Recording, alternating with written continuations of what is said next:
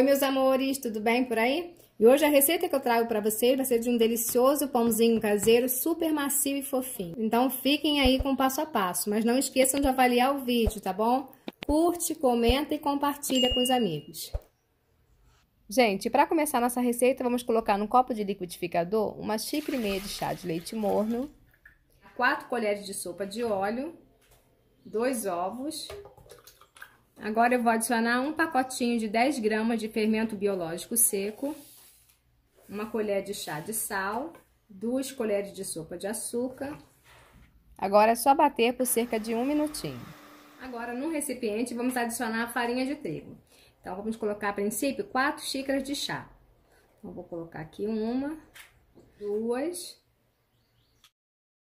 Então, vamos para a quarta xícara aqui de chá. Então, já coloquei aqui a farinha de trigo no bol. Vamos adicionar toda a mistura do liquidificador. E como essa receita é bem prática, qualquer um consegue fazer. Então, vamos mexer bem aqui com o auxílio de uma colher. Aí, se houver necessidade, eu coloco mais um pouquinho de farinha de trigo.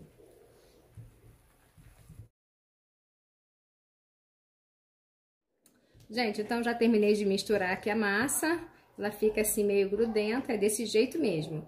E não precisei colocar mais farinha de trigo. Agora é só despejar numa forma untada e enfarinhada. Eu untei com margarina e polvilhei farinha de trigo. Depois, a medida dessa forma, junto com a lista dos ingredientes, eu deixo na descrição do vídeo para vocês, tá bom?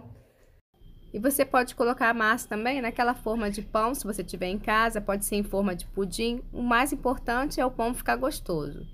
E esse pãozinho também dá para fazer recheado. Se quiser, você pode rechear com queijo presunto, com calabresa, fica aí a critério de vocês. E uma coisa que eu quero pedir encarecidamente para vocês não esquecerem de avaliar o vídeo, tá bom? Que isso é muito importante para o crescimento do canal. Então curte, comenta, compartilha e, é claro, se inscreve no nosso canal. E não esqueça de clicar no sininho para receber as notificações do YouTube.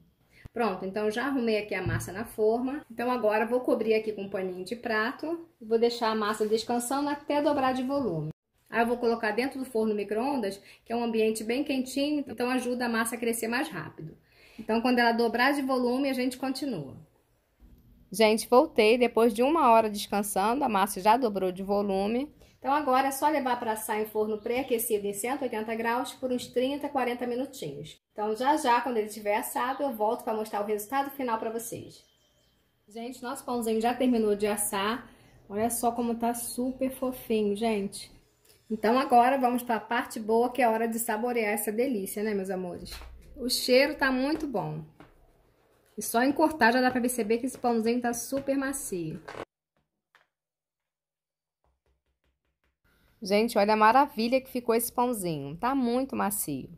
Agora, para lacrar, para fechar com chave de ouro, só uma manteiguinha nesse pão quentinho, né, meus amores?